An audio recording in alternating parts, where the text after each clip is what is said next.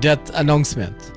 The death is announced of Umdut Jagnit, known as Anil, aged 40 years, of Lot 5 Betsy Ground East Canje, who died on Monday, October 21, following an accident. He was the grandson of the late Mr. and Mrs. Kopsami of Gangaram and baby Set of Canefield, son of the late Lena and Balu, brother of Sabo and the late Ravi, father of Aisha, husband of Golin, foster father of Sony, Boy, and Joni, nephew of Philip, Henry, Chapa, Chalk, Esther, Lynette, and Vido, uncle of Priya and Ria, cousin of Rohani, Sabrina, Harish, Suraj, Nalini, Shelley, Jenny, and others, friend of many.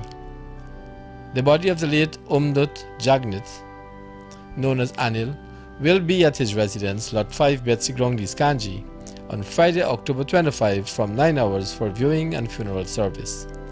Thence to the Reliance Crematorium for cremation at 12 hours 30.